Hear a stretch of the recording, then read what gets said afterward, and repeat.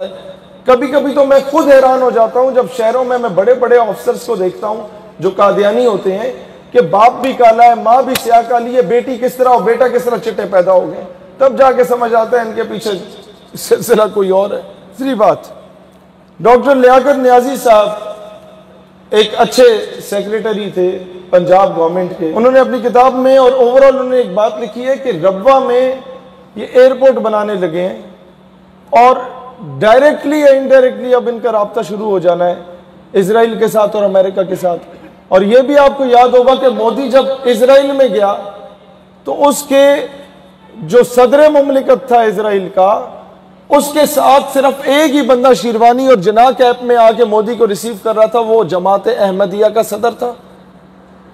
तो वो इसराइल जो मस्जिद अक्सा और बैतुल मकदस को तबाह करने पर तुला हुआ है उसके साथ अगर वो किसी को खड़ा होने की इजाज़त देते तो सिर्फ़ कादियानी जमात के, या कादियानी फितने के अमीर को या खलीफे को इजाज़त देता है।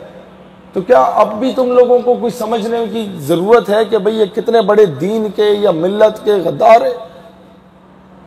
और फिर किसी दिन ये भी बताऊँगा कि ये कश्मीर हमारा हिस्सा क्यों नहीं है? ये गुरदासपुर और ये करतारपुर की राहदारी का जो ड्रामा है, इसके पीछे ये इलाका पाकिस्तान को मिला क्यों नहीं था? ये ऑक्योपाइड एरियाज़ के ऑक्योपाइड कश्मीर के एरियाज़ पाकिस्तान को टच होने थे। कश्मीर आज़ाद होना था, इसमें भी ये कौन कौन से कादियानी घुसे हुए थे, जो कश्मीर आज तक हमारा हिस्सा नहीं बना। बांग्लादेश को अलग करने में कौन कौन सा ब्यूरोक्रेट था? एम एम अहमद था। वो ब्यूरोक्रेट जो इन्वॉल्व था बांग्लादेश को अलग करने में, पाकिस्तान को दो लख करने में। तुम क्या क्या चीज़ें तुम्हारे सामने रखू मैं? अच्छा जी एक लाख रुपए की ज़मीन बीस बीस लाख में खरीदी गई आपके ये रब्वे चिनाब नगर के एरिया में। और ये अभी सरगोदे तक ये सारी सूरत हाल जारी है। अब बताओ ना, वो तो ताकतवर नहीं है भाईजान। हम बुजदिल और बेगैरत हैं जो हम लोग जमीनें बेच रहे हैं अपनी। फलस्तीन में भी यही हुआ। अरब रियासतों के बड़े बड़े शेखों को खरीदा गया औरत और शराब पे। कादियानी ने भी यही काम करना शुरू कर दिया। इसराइल की फॉरेन मिनिस्टर कहती है, मैं किसी भी अरब शेख के आगे लेटने को तैयार हूँ। अपनी रियासत के लिए।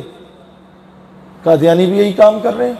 उनके बड़े बड़े मुरबी जो हैं, उनको कोई मसला ही नहीं है अपनी बेटियाँ पेश करने के लिए। लेकिन मसला यह है कि तुम लोगों भी को भी दुनिया में सिर्फ़ वही थर्ड क्लास औरतें ही मिली थी। सवाल यह है कि मौका देते हो तो वो लोग आपके बीच में घुसते हैं। यहाँ पर एक जवान मुसलमान हुए। उनका नाम है फहद नौमान। उसने कहा, बयान आया कि जी रब्बा दूसरी हीरा मंडी है। और उसने यहाँ पर आके गवाही दी थी आपके ही जलसों में कि कई मुरबी ऐसे हैं जो अपनी ही माँ बहन के साथ मुँह काला कर रहे होते हैं। दोस्तान जी बकार ये चीज़ें आज के नौजवानों को बताओ जो इनके लिए एक सॉफ्ट कॉर्नर रखना शुरू हो गए हैं। जिया रवान जिनके वालिद, यहाँ पर ऑफिसर थे आपके रब्बा में उसने किस तरीके उसने लिखा, उसने पूरी बुक लिखी अहमकों की जन्नत। और पूरा एक मैकेनिज्म आपके सामने रखा गया कि जनाब किस तरीके से औरतों को सप्लाई किया जाता है। किस तरीके से औरत, वो, खूबसूरत औरत के साथ शादी करा के आपको अमेरिका का वीज़ा मिलता है। शफीक मिर्ज़ा सबक कादियानी शेर सदूम अपनी किताब लिखता है कि पूरे जनाकारों की बस्ती है ये। और मिर्ज़ा बशीरुद्दीन जो दूसरा खलीफा था मिर्ज़ा कादियानी का उसने अपनी ही बेटी के साथ ये गलत कारियाँ की। मैं तो ये भी मुतालबा करता हूँ कि मिर्ज़ा कादियानी की पोती को इंसाफ मिलना चाहिए बेचारी। मतलब ये ऐसे घटिया किस्म के लोग हैं कि इन्होंने अपनी बेटियों को नहीं बख्शा।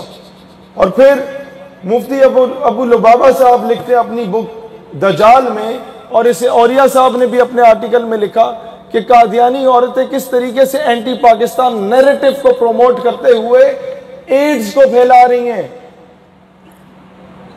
अब एक बंदा बेचारा चालीस हज़ार में रात गुजारने जाता है, उसको मुफ़्त में एक औरत मिल रही है।